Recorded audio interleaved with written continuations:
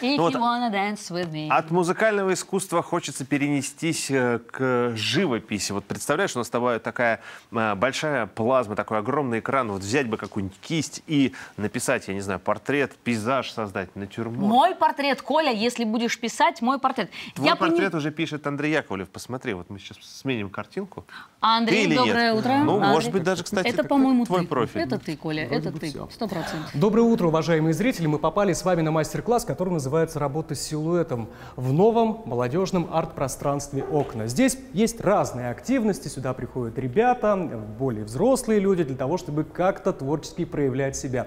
Ну, о том, какие тренинги, мастер-классы здесь проходят, нам сейчас расскажет Мария Осипова. Здравствуйте. Здравствуйте. Ну, стандартно у нас набор в группу до 10 человек. Чтобы к нам попасть на занятия, достаточно просто с нами связаться, предупредить, что вы хотите подойти. Нужны какие-то творческие особенности у человека? Есть ну, определенная система обучения, благодаря которой мы уже будем идти по шагам. А Этому в школе обычно учат, да? Свет, блик, тень, полутень, падающая, тень, рефлекс. До сих пор, вот я, честно говоря, запомнил.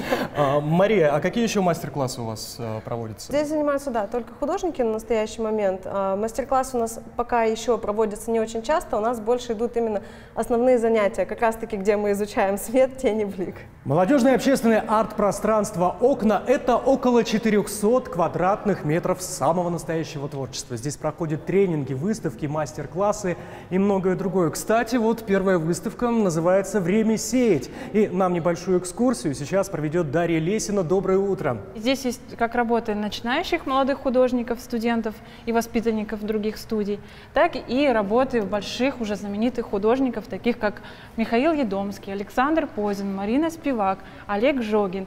И к каждому из них мы ездили, собирали экспонаты, Дарья, пространство окна молодежное. То есть получается, что все работы, которые здесь представлены, а также те э, люди, которые здесь будут творить, это ученики школы, студенты вузов? Даже не обязательно быть студентом вуза, ты можешь просто к нам записаться, ходить на занятия, лектории или выставлять свои работы. Это всё может бесплатно? Быть... Да, конечно. Это может быть первая персональная выставка, например, или ты можешь стать участником одной из какой-то цельной выставки на общую тему. Как вы вынашивали эту идею? Сколько прошло времени от создания до ее реализации? Началось это все много-много лет назад.